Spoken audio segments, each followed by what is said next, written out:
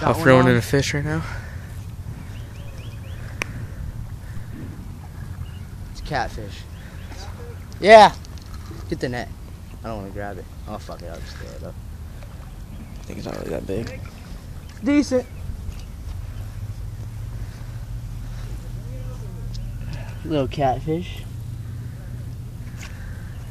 Puffmaster Flex. Oh, Zach, look. Was that a carp? All right, we'll get back to you with more.